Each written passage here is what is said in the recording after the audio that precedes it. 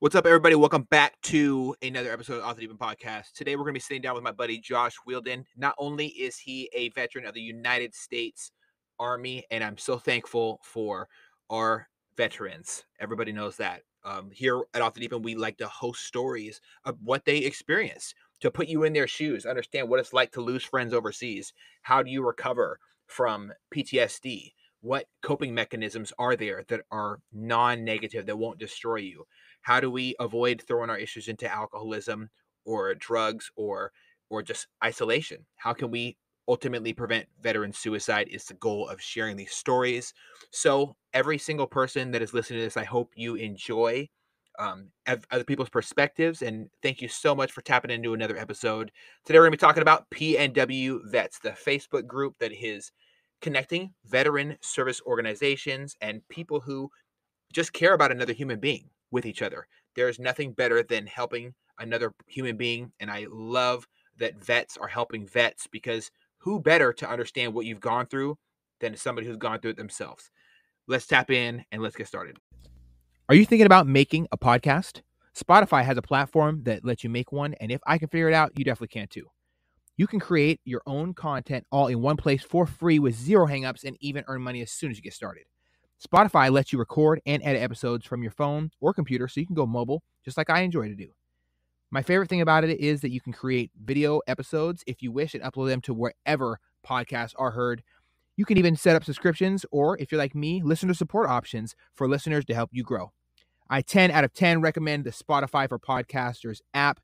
Or, you know, why don't you just step over to www.spotify.com slash podcasters to get started on your own podcast.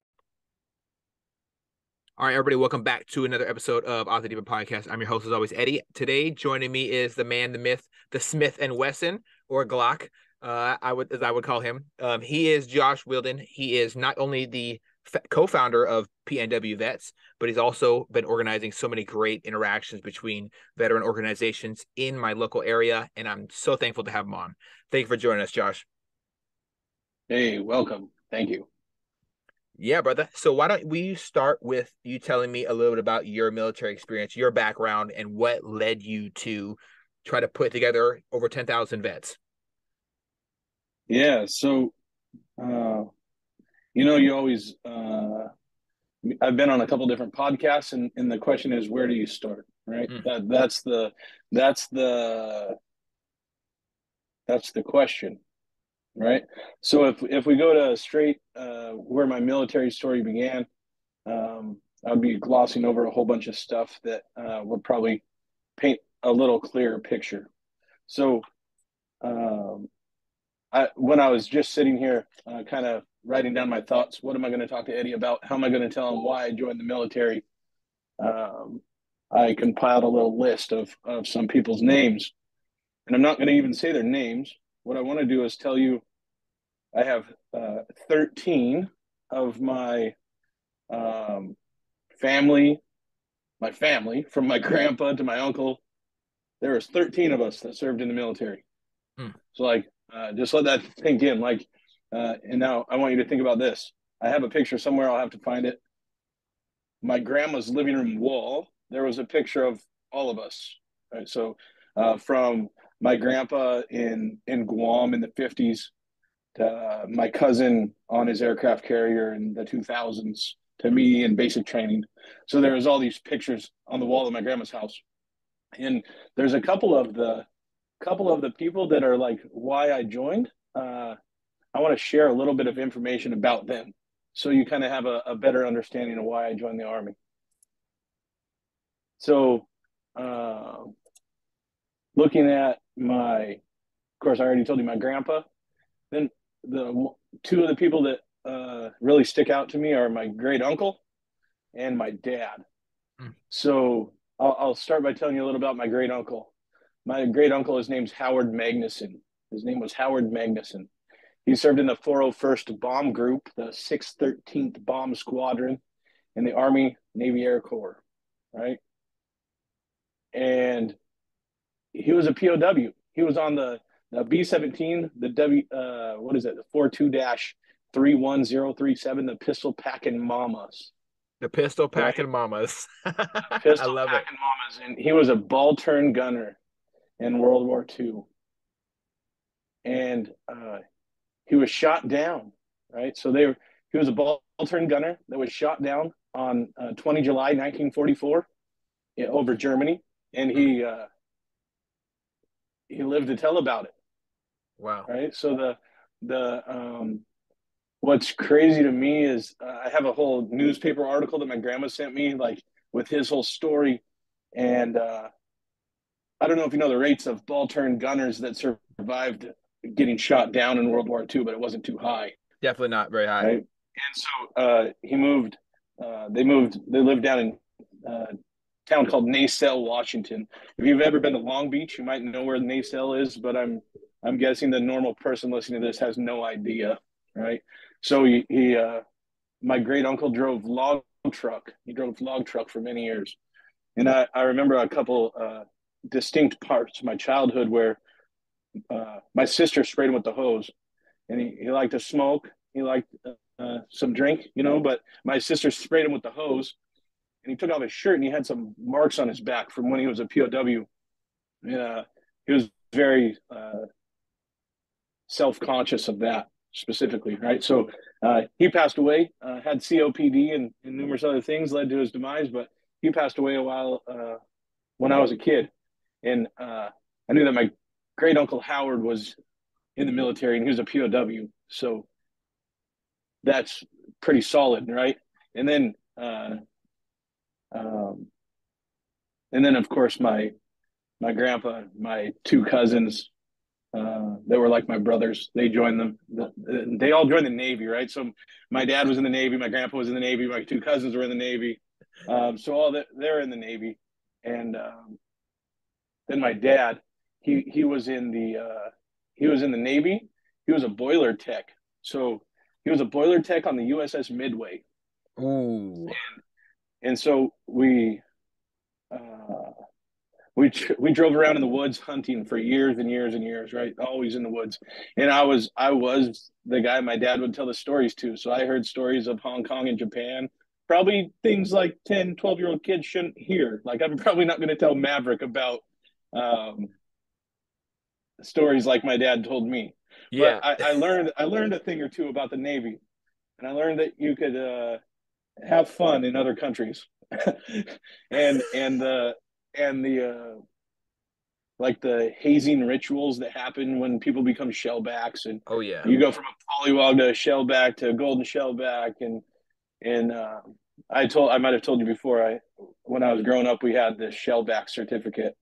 You know it's probably 20 inches wide 13 inches tall a big certificate you know mounted on the wall at the house. And that was the you don't touch that that's mine, you know, and it's still in the wall at my mom's house to this day. Uh, so those all these family members I have, they all kind of set the precedence for for me to, well, I tried college, didn't work out, so why don't I join the army or something, you know? So how I got to that point, I uh, I went to college over in Yakima, uh, community college, had had all these aspirations. Oh, I'm going to go walk onto the wrestling team. I'm going to do this. I'm going to do that. You know, uh, now that I think about it, I should have tried harder at football and wrestling. But hey, that's another story, right? um, so I made it about two quarters in college, and I came home. I I, uh, I didn't do too good. Hmm. Found uh, uh, found some other ways to occupy my time and uh, the college grades didn't didn't coincide with those uh, extracurricular activities. Oh yes. So, um, what did I do? I, I, was working at Home Depot, and one of the guys there was just got out of the army, and he, he like, "Yo, you ever thought about going to the army?" So, of course, uh, being a bigger dude, I had to do some running. So I, I did some running with the Marine Corps recruiter because I was thinking like, "Oh, I'm going to be an embassy guard." Because you know the Marine Corps is the men's department of the Navy, right? Oh so, yes, yes, I've heard. but uh, so I was thinking, man, I didn't know men ate crayons, but it's okay. Those those uniforms are nice. You know, they get to go sit in an embassy. You know, I thought, man, that sounded pretty cool. Until the fact they said you had to be an infantryman for a couple years before you might get selected to go on embassy guard detail. I was like, ooh, that doesn't sound good. So I walked across the hall to the army. Hey, army, what do you got? And they said, oh, you want to be a military police officer? Let's go. So I signed up. I was in the delayed entry program for like a month or something, and then I ended up at Fort Leonard Wood. Um, then the story kind of just builds from there, right? I was only in the army for five years. Uh, went, to, but I went to Korea, came back, worked law enforcement here on JBLM. So the, the common myth is that the law, the the MP or the security forces, whatever, uh, master at arms. What does the Navy call it? Something like yeah, that. Yeah, master at arms. Yeah. Um, is the is the security guard right? Well, let me be the person to tell you. Here at JBLM, we went to INS we had drugs coming in the gates. We had murders. We had child abuse, domestic violence. Anything you could think about in the real world, it happened right here. Like, uh, I remember vividly. There's a, a lady arguing with the neighbor because the husbands were deployed, and she was talking to her man, and she went in there and like broke their fish tank. The house was a disaster. The four year old daughter was sitting on the couch the the one lady stabbed the other lady in the side and she's like oh i'm just bleeding a little bit and she had a gash in her stomach like what is this yeah. so that painted the picture like i do not want to do this in the real world if it's this bad on post right so um then i uh, after working the road for a little bit i, I deployed to iraq uh, i was there for 15 months um, we went we we had a Iraqi police team. We we trained in we trained Iraqi police officers what's called a pit team. So we we ran pit teams. Our company was responsible for Fallujah to Al Qaim. So that's a Syrian border, Fallujah. Um, and I was in a little town called Habbaniyah. Our good friend Elliot was in Habbaniyah. I was in Habbaniyah for the first month, and I didn't even know that Elliot and I were in the same place until just like two MVP huddles ago. Oh wow! Um, yeah, so we went Lottie Da went to Haditha um, just after uh, some crazy stuff went on there. Um, so we, we went on walking patrols every day, lifted weights, smoked hookah, burned shit, you know, like did all, all the good stuff. Mm. Um, then I came home and I was trying to get out, I, wanted out of the army. Um, so to gloss over a few things, not to get in too much detail, I, uh, well, in Korea, I had some of the best and worst experiences of my military time. So I like to drink a little bit. So I went to ASAP a couple times. Command referred to ASAP for fighting. Uh, lost some rank, got some rank, lost some rank again. And the same kind of thing happened in Fort Lewis. So get in trouble. I remember I, I wrecked a vehicle um, just before our deployment, and the sergeant major told me I was lower than whale shit.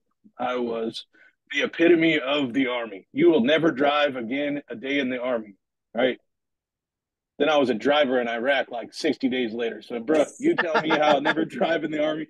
So, like, I, uh, it was that, and then that was uh, um, the reason why when I come back, I was like, well, maybe I am a fat piece of shit. Maybe I do want to be out of the army. Well, get me out of here. So I got out of the army, and then all of my friends deployed to Afghanistan shortly after. And I was able to find um, a way to go to Afghanistan as a civilian. Uh, it just so happens they like to pay pay some people a lot of money to go do some jobs of. Uh, it was too it was too uh, expensive to train military members to do like uh, mass training. So I went and operated the counter rocket artillery mortar systems in the army. It's called it's a 14 Juliet. It's air defense artillery system that detects rockets and mortars.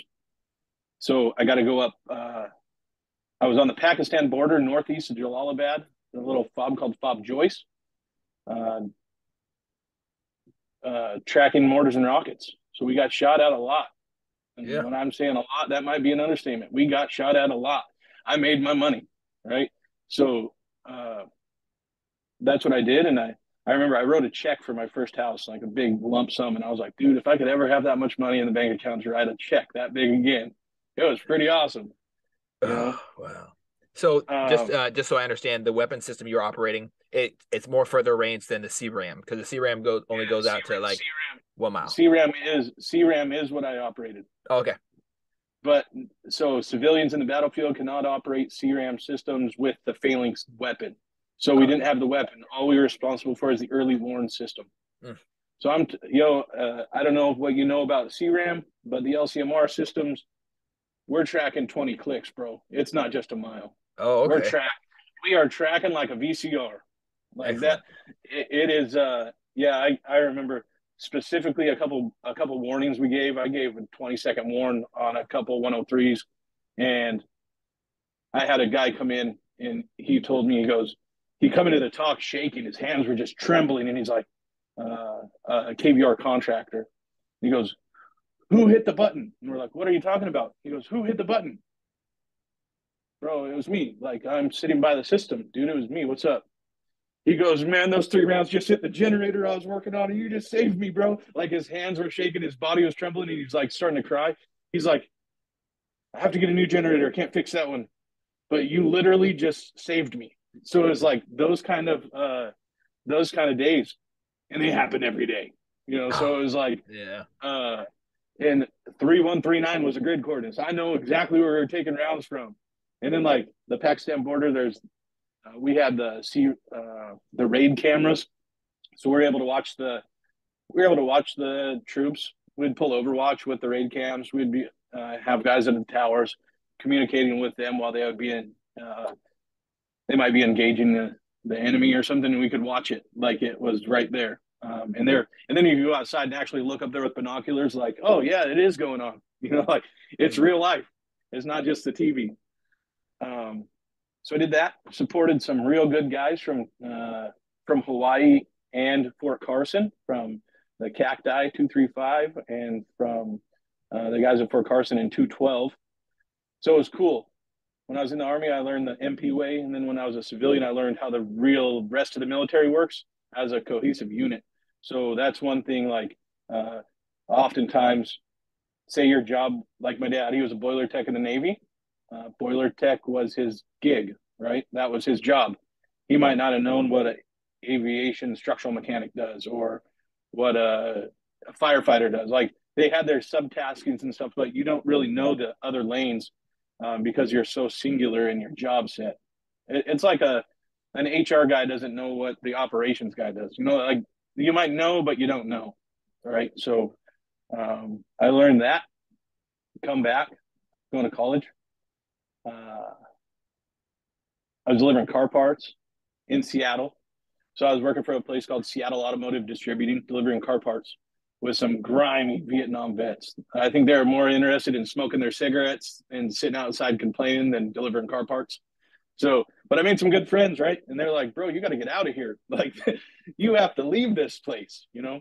So, um, I was going to college while I was working there, and a friend of mine, um, an, a, a founder of PNW Vets, uh, he actually started PNW Vets. Here, here's how uh, his name's Josh Penner. He's the mayor of a city here, Orting, Washington. He's the mayor of the city. Um, if you look at PNW Vets, when you're actually on the URL, it says uh, facebook.com forward slash groups forward slash WA Veterans Help. So Josh had the outreach job before me, and he's like, "Hey, I'm going to get this WA Veterans Help page started." And then when I came along, I was like, "Yo, PNW Vets, man, it's about branding. Let's do it." So we changed the name. So the name on the page is PNW Vets, but up top it says WA Veterans Help. That's the actual URL for the Facebook group that he started. So Josh got me into doing some veteran outreach.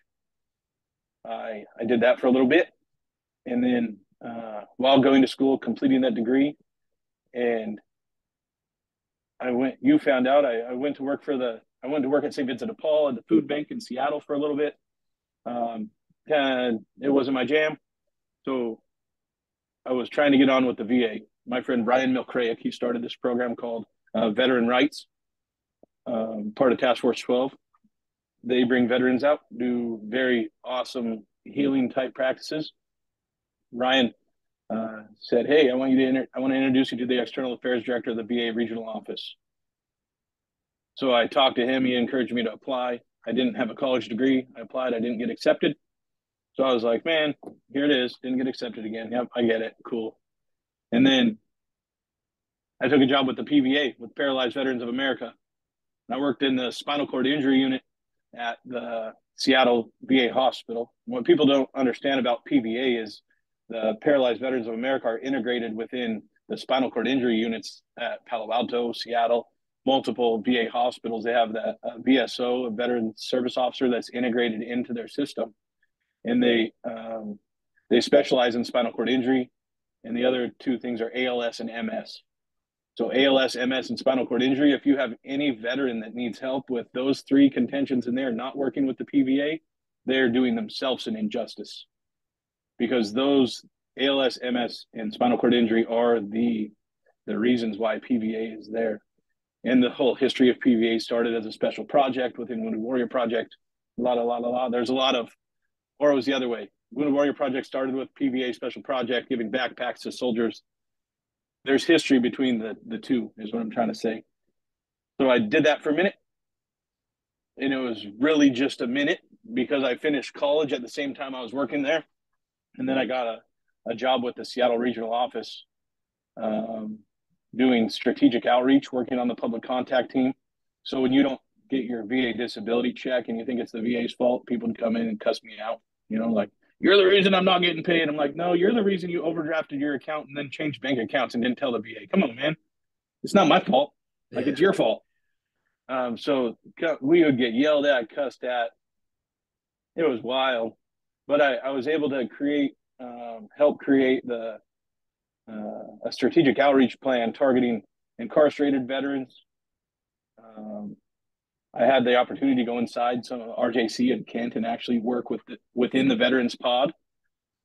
Uh, did some LGBTQ outreach, some uh, Native American outreach, uh, making some really good friends at some of the tribes. I went to Veteran Sweats. I've uh, I got a medallion from the Suquamish tribe, from their veteran elder. It, it's uh it was cool to kind of get out and meet um, these other people in the community doing great things. And then um, I rode the bus to downtown from Federal Way, Federal Way Transit Center, bus 577. Took 577 to downtown Seattle for three years. And um, a good friend of mine, she was the previous uh, Gold Star mother of Washington. Her name's Monica McNeil. She, uh, we had, um, I guess she's like my second mother. My mom lives in Oregon, and Monica's like my mom here. Right. So I got a couple veterans and people that I I'm like, these are my family members here, but they're not really my family, but they are. Kind of. I think we thing. all have that, and it's so important. Yeah. So uh, she goes, "Hey, there's this job. You need to apply for it." At Madigan, working with transitioning service members. Uh, so I got a. I, it was called the WTB then, Warrior Transition Battalion. And if you know the history of that, right? Uh, Walter Reed, there's some stuff that went on at Walter Reed back a long time ago, and they said, "Oh, we need to take better care of our soldiers and that are coming home."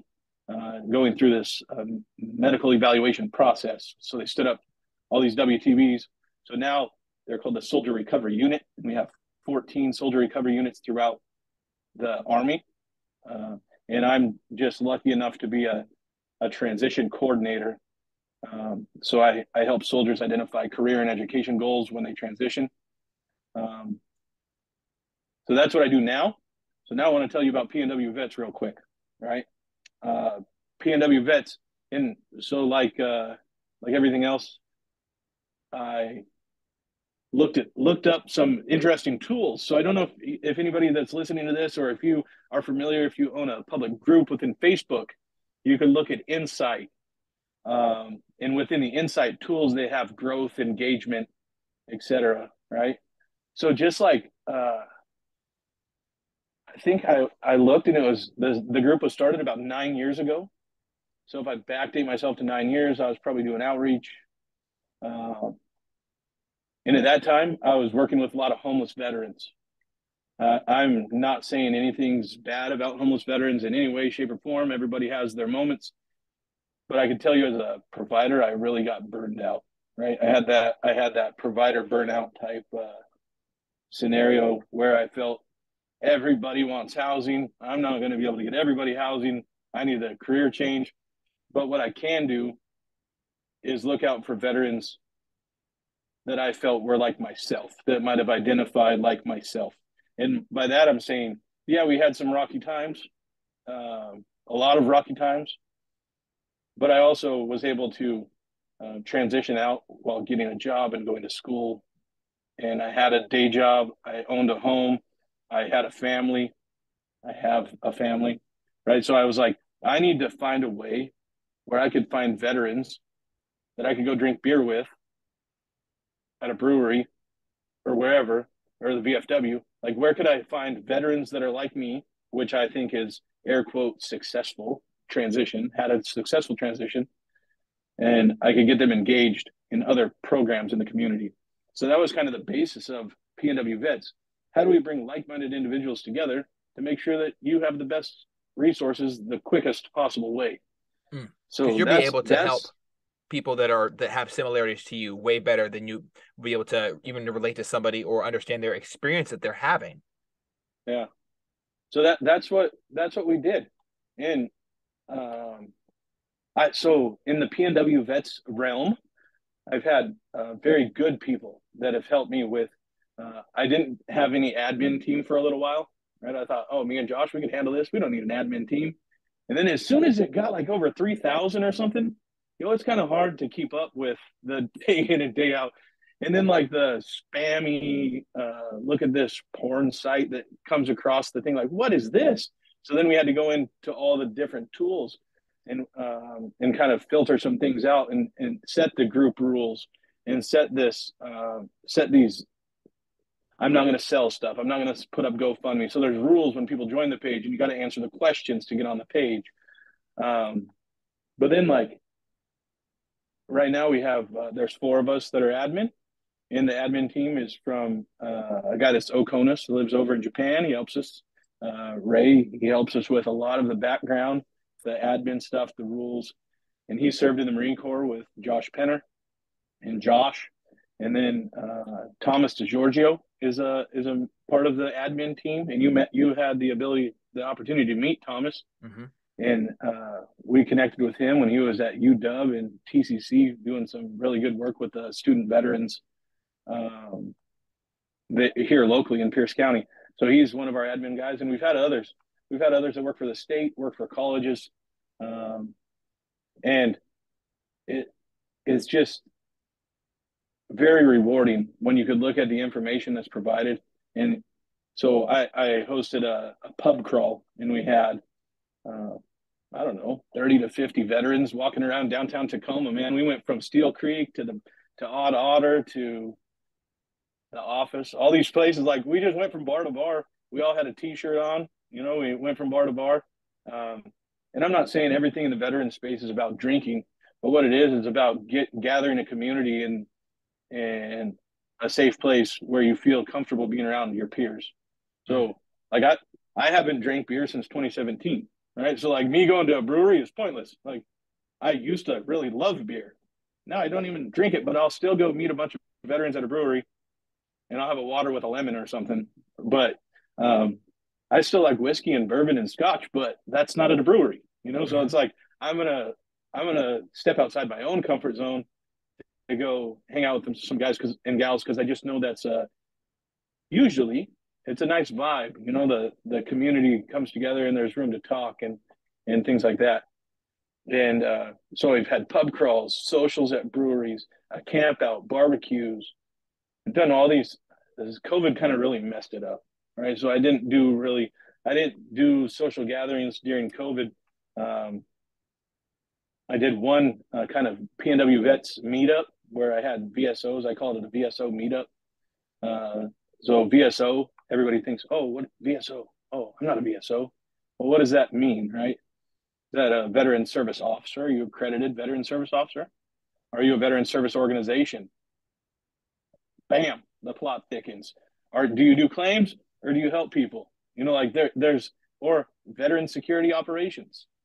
There's a security company in Puyallup that's armed guards, a bunch of veterans that have the name VSO. So it's like, what what is that mean right so it's like you really have to dive into what does it mean and so as a vso meetup i, I said i want everybody that could uh, help a veteran and their families that that's a service provider that wants to hire a veteran help a veteran is a veteran wants to be an advocate whatever your passion is if it has to do with the veteran space at all, I want you to come. So I did that a couple summers ago. And then over, uh, I think it was probably Veterans Day week, I got asked about five times, Hey, when are you going to have another one of your meetings? What? I don't know. Leave me alone. Like I, I have a job and I, you know, I have a family and my son plays multiple sports and we got to travel to Oregon for fam. So I was like, and so I do things kind of like sporadically. So I just pick a day. I don't know. Uh, so I think we had a meeting December 18th or something, you know, I'm just going to pick a day and we're going to go with it. Uh, I used to wear a hat that said, fuck it, run it. Right. Like, I don't know. Let's just pick it out. Whatever. Yeah. You want to go shoot? Let's go shoot. You want to go, uh, go off road and let's go. Who cares? You know? Um, so that's what I did. And then I listened to the people uh, at this meeting, and they're so grateful that we brought this this group of people back together. And they're like, Josh, many people have tried and nobody's been successful. How how do we continue this? So we decided um, after talking that we are going to do these PNW Vets Pierce County Coalition meetings the third Wednesday of every month. And no, we don't have a set in stone place that we're going to meet, but I know it's the third Wednesday of the month. So if it's at the VFW, if it's at AMVETS, if it's at um, a nonprofit or a library or a restaurant, where like the sky is the limit when it comes to meeting. Like I don't, when it gets nice, we could even host up in the parking lot at Emerald Queen Casino or something. I don't know. Like it doesn't a park. It could be anywhere. Um, but the sole purpose of it is to really to build those relationships and strengthen the community. Because if you have a relationship with the person you're going to refer someone to, then you have a sense like it makes your heart feel like, oh, I know if I tell Eddie that Eddie's going to take the best care of them, you know, like I would my family. I know he's going to look out for them. So we did that. We had another meeting in January. Now I've had requests from uh, Washington County, Oregon. If you don't know, that's where Hillsboro, Oregon is.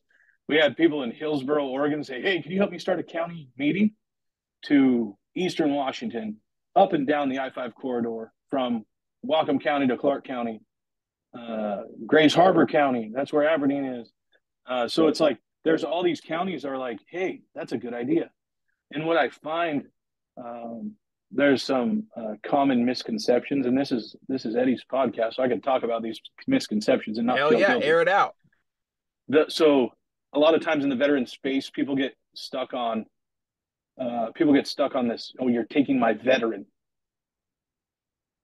It's not talked about, but I know it's there, mm-hmm. right? This, oh, you're going to help them with a claim, and I'm not going to get numbers.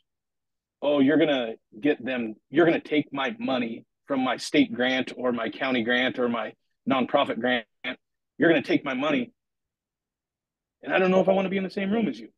You know, like mm-hmm. uh, they're stealing my veterans, they're stealing my demographics, and I know from doing outreach in the nonprofit world that a lot of nonprofits thrive off of this demographic data, this data mining of um, the company I worked for got hundreds of thousands of dollars from the county, and they were we reported demographics, and that's how we justified the money that we continue to get. So I know, like, hey, I'm not I'm not knocking it, right? I want every veteran business to be successful, but there's a point when you have to lower lower your guard, lower that expectation. I am not here for any reason other than connecting you together. So if you work for Eddie's Veteran Services and Josh has Josh's Veteran Services. If we have these things and I, I'm getting money, you're getting money, we're getting the same pot of money or no money at all. I want to make sure that, when this dude needs housing, you're going to get him the best resource in the fewest steps. What does 100%. that look like? So that's why I feel like PNW Vets is just that. It's a Facebook group. It's a Facebook group that I had T-shirts made a long time ago some people still have. You know, like what what are we? You know, we're federal employees, county employees, state employees, city representatives. Uh, the sky's the limit. Disabled veterans that don't do anything but help other veterans. So it's like when when these meetings come together, it, there's all those people in the same room, and when you don't when you don't mix um, job t- necessarily titles or what agency yes, the people say I ask where they work so that I know how how we connect each other, right? We ask the people's why, why they do what they do, why they work where they work, where they live, why do they live there. So it's really you kind of get in the weeds of understanding their them as a person, mm. not just an agency. So um, that's why, in like just looking at our num- looking at this insight, right? I could tell you just at a glance, uh, five thousand ish veterans that are there right now, that uh, the most popular day for looking for resources and posting veteran resources is a Thursday, right? That on Thursdays at eight o'clock at night is the time that people are usually engaging. And then on Sundays in the morning and at eight o'clock at night, people are looking for resources. And then there's all types of the biggest, the top, the top uh, posts have to do with the lockdown that happened at American Lake just recently mm. to the veteran meeting, bringing veterans fishing, uh, a memorial service for a veteran, so uh, those are just the top things that have really engaged um, over the past uh, couple weeks. It's actually the last 28 days. And I have my top providers. Uh, oh, Eddie, you're a top contributor now. In the last 14 weeks, you're a top contributor. Because I care couple, so much. Yeah. Yeah, man. And then like the gender, um, the gender gap is 66% uh, males, 34% female and it has the age range, age breakdown, or it looks like we're kind of crushing that 35 to 44 age range. And you know Excellent. what? 35 to 44 could be people like me. Iraq and Afghanistan. Yeah, it could be people like me, but it could be um, retirees that were retired sergeant majors 34 years or 44 years old, you know? Mm-hmm. Um, what what does that look like? And then our top cities right now we got uh, Tacoma, Seattle, Lacey, Olympia. And it only makes sense, right? where where do we live? How are we able to get that out? And we're spread out through countries, even you know, and it's crazy to see. Yeah, the top. What is this? Spanaway, Fort Lewis, South Hill, Lakewood, Puyallup, Graham, Olympia, Lacey, Seattle. So it's very strong here. But I mm-hmm. really, really want to build Oregon and Idaho. I want to make sure that in Oregon, where there's um, there's still great nonprofits doing great work, but there's no active duty military installation. You know, over in Warrenton, there there's a National Guard throughout the state. Hermiston, Oregon, there's an armory. There's some good guys in, in the east side of Oregon, as well as Washington. So I, I really want to take this this model, and that's what I was saying. I might have told you this. Make this I five connection, right? So we're covering we're covering Canada to California. In one, imagine one day, 10, 20 years from now, you could say on the third Wednesday of every month at six o'clock, whether you're in Salem, Oregon, or you're in Bellingham, Washington, there's some veterans meeting. And all you got to do is get online and check it out. Where are they at? You know, and have a list of these counties that are engaged. And, it doesn't cost the, anything. Yeah, it's just out of the nothing, kindness of people's hearts. Yeah, that want to show up to help. Mm, you know, I love that. So it's the it's really cool to see these different um like the insight from the uh, analytics that are on uh, Facebook alone. Mm-hmm. But yeah, that's the that's the whole concept. And so so uh, February fifteenth, we'll launch in Thurston County. Yep. Thurston County is going live at the Lacey Veterans Hub. I have a couple people that I that I've worked with for some time that I have that I know uh, really will share the mission. You know, it's it's uh, creating that creating that network of support services to help veteran veterans and their families thrive in their community. So yeah, here in uh in here next month we're going live in uh Lacey Veterans Hub February 15th, February 15th, and uh, uh VFW State Headquarters in Fife, February 15th. Um, and there's some people like continuing that mission. I want to help veterans and family members thrive in their community, and that is the basis of it. Um, and and quite frankly, if you know anybody that owns a owns a company, owns a space, would allow some veterans to come into your space and really learn what you do. Um, that's kind of what it is. So uh, starting next month here in Pierce County, we're going to have an agency share, probably 20, 30 minutes, probably 20, 20 minutes talk, uh, 10 minutes um, question and answer about their organization. What does that look like? and starting in Thurston County and all the all the counties that'll come. Um, it's really a sit down, discuss your top three basic needs for the veteran population in your county.